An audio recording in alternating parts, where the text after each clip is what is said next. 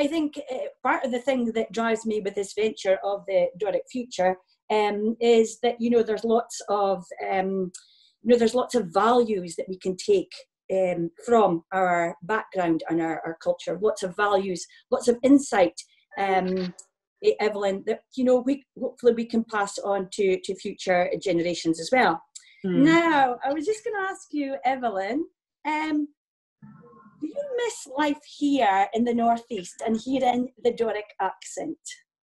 Um, the Doric, yes. I mean, I'm lucky in that my mum is is still alive, and so we call her up, you know, um, a few times a week, and and that's just a, a, a, great way to to get back into the mother tongue, as it were.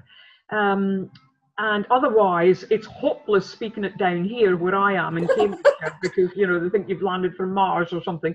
But anyway, but so that is nice, and I mean, um, and I can very easily go right back into it.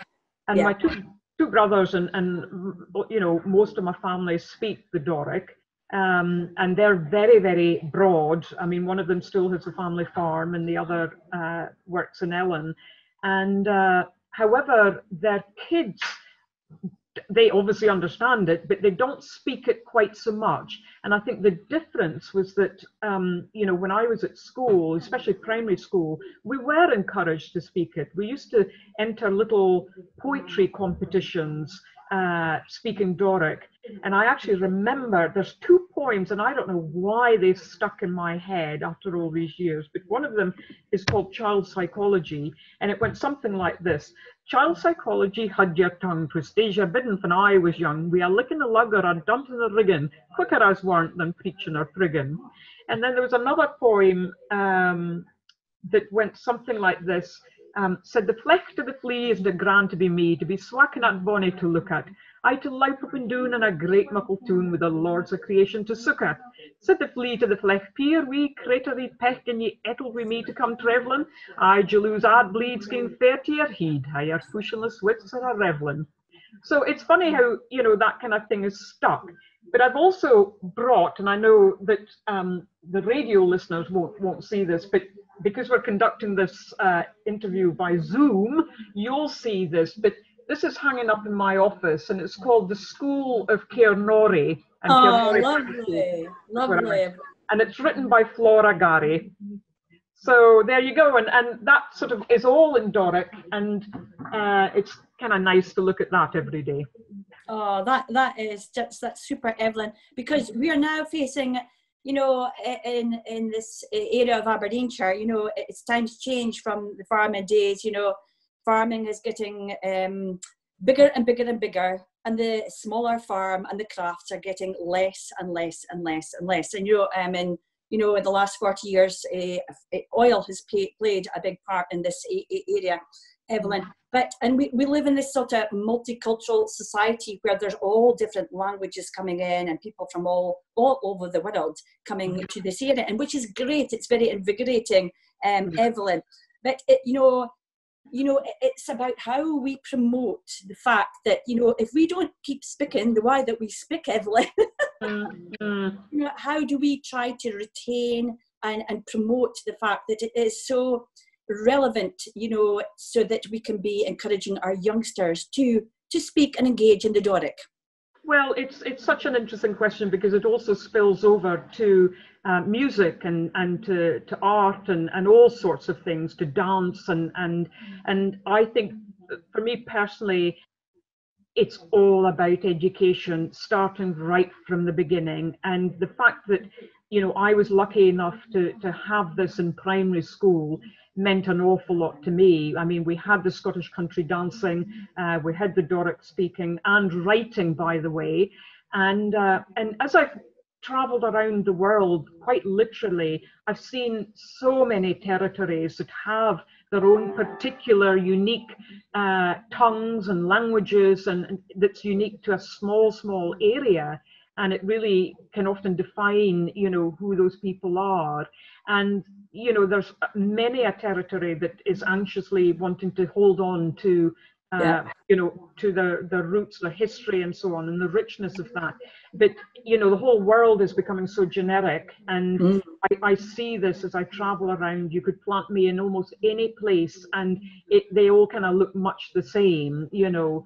And, uh, and that's a shame. And I think that it would be wonderful to see a resurgence in our primary schools because that's when it's it needs to start. You know, yeah. not even before. It's it's almost too late once once kids are in secondary school. But to really encourage folk to to speak the language, to um, be able to read the language, um, be able to to you know, know who the writers were, the Jack Websters, the Flora Garrys, and so on, and to really, you know, see the value of that. And it's something, as you said right from the beginning, it's it makes us unique. And the whole UK, British Isles, you know, is full of this. It really is, you know, pockets of territories that have just such unique tongues and languages and phrases and all sorts of things. And uh, and and that's what makes this whole country special. You know it really does. So and the northeast is is a jewel in that in that whole sort of landscape. So i think absolutely you know it it it just needs to be through education.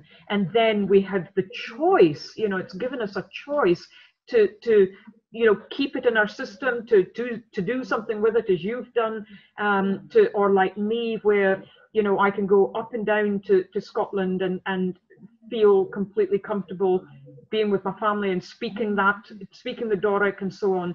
Um, so yes, there's, there's, it just opens up choices, and that's what we want, want to give folk. I know that that's that's a good word. I think Evelyn is choices nowadays because yep. A wee bit of burden uh, nowadays for the youngsters. Uh, Evelyn, I, I've worked um, uh, I've worked in a, in a school uh, as a help uh, as a help teacher in a school. So i can see the way that education is going just now. There's so many distractions in you know for youngsters in their lives just now. You know they've got the mobile phone they've got the pu- computer they've got the xbox. You know mm. they've got every box underneath the sun that they're physically engaged to and this really is one of the things that drives me most um, yeah. The fact that the youngsters see the world through different eyes than what we do. Yes, you know, and there's pros and cons to all of that, of course. Oh yeah, you know, yeah.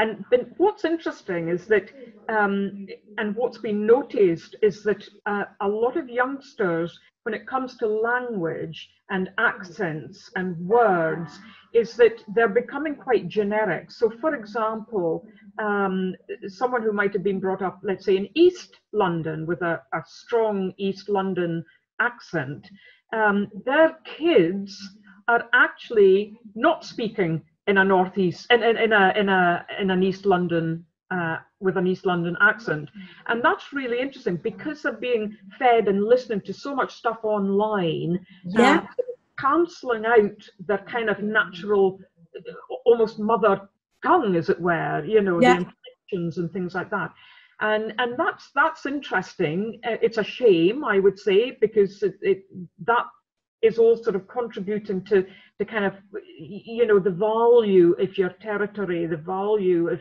of, of the choices of words and how the the inflection and and all of that sort of thing, the speed that that, that we, we speak. I mean, I've noticed that when I look back on some of the the early early TV or video footage or whatever, you know, when I was in my 20s, I spoke at such a rate, you know, really fast. I'm thinking, blimey, what was the rush? And now I speak much more. But that was obviously the pace, you know, that, that was happening, um, that naturally, you know, was, was spoken. And, uh, and because I've had to slow down since being in, in England, and I've been in England an awful long time, um, but in order to be understood, um, in order to, to basically speak English but with a Scottish accent, because that's what I'm doing right now. Yeah. But, you know, it's it's that's changed the pace then of of um, of uh, how you how you speak. So lots of things come into play depending on where you are. Yeah, that's that's so interesting, Evelyn, because I sometimes think that we're in this modern world that we're just going too fast. We're mm-hmm. just going too fast. Modern technology, especially for youngsters, is drawing them in you know, to this mobile phone that they seem to have to Twitter and tweet and, and yep. TikTok. And it's like spinning plates, isn't it? It's like spinning. Media. What is the next? What is the next thing that they're homed into on their phone? You know, and I often wonder, you know, thinking about our sense of identity and our culture. Um, Evelyn, you know, we know where we've come from. We we know our background. We know our culture. You know, mm-hmm. because um, it, it, it was it was hands on. We were out there in the fresh air, you know, watching our dad milking the coo, mm-hmm. basically. You know. That's true. Yeah. And then before that, there was the the the the the, man, the men working in the, the land with a horse. The yes. horse. You know, you know, and we've moved on to such an extent, Evelyn. You know mm-hmm. that I just wonder the how the youngsters of today will see their identity in the future. You know, if yeah. you know if, I, yes through this medium that they're kind of using with social media um, and, and, looking intensely into the phone and there's nothing wrong with that evelyn but i just wonder how it will pan out you think in the future for them well, you know that still has to be revealed, obviously, and and but I suppose you know when you think about it, if we think about our parents and the sort of things that we then had, you know, as the kids when calculators came in, and then I remember leaving school, and I think just when I left school the year after computers then came into schools and you know and so on and so forth. Um, it's, it's, things like um, uh, uh, piano keyboards you know were were in in the music rooms um, well as opposed to loads of recorders and and singing books and stuff like that. So things do change things do move on um, and and i think we do have to embrace that uh, yeah we, there's no way we can fight technology now. we've, no. we've, got to really see the positives of it, and we're yeah. using technology right now in order to conduct yeah. this. Yeah, that's true. So I think that what this whole lockdown period has emphasized was actually what are the things that are important to us. Yeah, um, yeah. And we know that communication is important. We know that face to face communication is important as well. Yeah and you know whilst there's that need to have you know connection with other people there's always going to be a need to say something. And yeah. and therefore language will always be really important. And which makes it all the more important to understand you know where we've come from and and the richness of something like doric. Um, and it goes back to this unique thing. It it it and and the choice you know it really does. And just the curiosity as, as regards to you know where where we're from. Where um, we're from indeed evelyn yeah. because i found that um, lockdown period very interesting although quite challenging because um, i'm in a, a shielded household.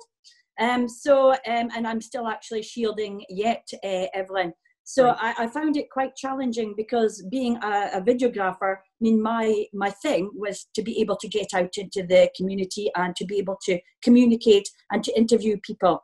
Um, so I felt that was a, a, a bit of a loss for me because I wasn't able to do it. But what I found is I found a little outlet uh, because we live next next to the North Sea, mm-hmm. um, and very close. It's just right on my doorstep. So I hmm. went, basically, I went hiking, walking along the coastline every day, Evelyn, um, because I, I couldn't connect with people, you know, and I'm not very really good with modern technology. So um, the, this concept, uh, you know, this Zoom thing and everything is quite frightening for my age group. Um, but what I did find, Evelyn, and then that's going back to our, our roots again, what I did find was a huge comfort and, and I found a way forward because I actually got stuck. I was stuck, I froze in this state of lockdown thinking, where am I going in life? You know, mm-hmm. I'm in a mm-hmm. shielded household. I've given up my job to protect somebody in my household, you know, and I was thinking, oh my gosh, I'm at dire, I'm a bit dire straits here. Yeah. So my what I did, Evelyn, is I connected heavily with outside, with yes. with the environment, with walking along the coastline, with the land and the sea. It brought me right back into my roots and into my culture. And I thought about that and I pondered on it. And it indeed gave me a sort of strength. Yes. It gave me a sort of strength, Evelyn, because I really was at a very low ebb in my life at the beginning of lockdown. Mm. And, you know, I think this going back to culture and background, you know, where we've come from, our connection with the land, you know, and the values that we've received from our, you know, our background and upbringing, which, you know, we can all in different, our different cultures have, that was my saving grace, Evelyn. It was my saving grace. That's so interesting, and it's really good to hear that that that you know literally something on your doorstep. You know, yeah. the medicine that's needed, and I think you're yeah. so right there that it's given us a chance to really see what is right under our noses. And I think yeah. what's so brilliant about the northeast is that it's got everything.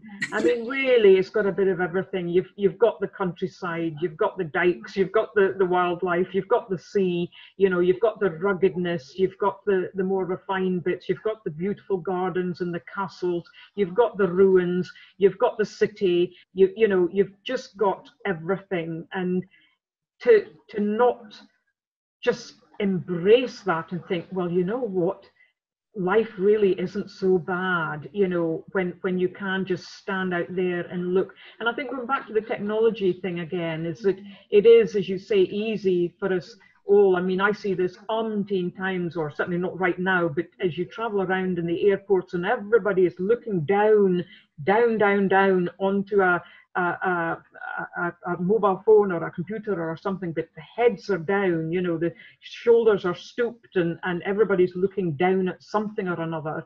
And mm-hmm. this whole lockdown period has allowed us to look up, look out, look across, look from side to side, look backwards, everywhere, you know what I mean? And it's got our whole, physically, our whole bodies up and rising again and, and just noticing um, what is absolutely right there in front of us for a change. And, and that really has to be the best medicine of all. You've said more than oh. I ever dreamt that you would be you would be able that we would be able to cover, Evelyn. We'll just say cheerio for the new. Cheerio for the new, and you'll have had your tea. yeah, and we'll and at some point we will zoom back together because you know what you. I've got more questions to ask you, Evelyn, if that's never okay. Uh, okay. Thank Keep you. in touch, Evelyn. Thanks very much and all the best. Keep, keep safe.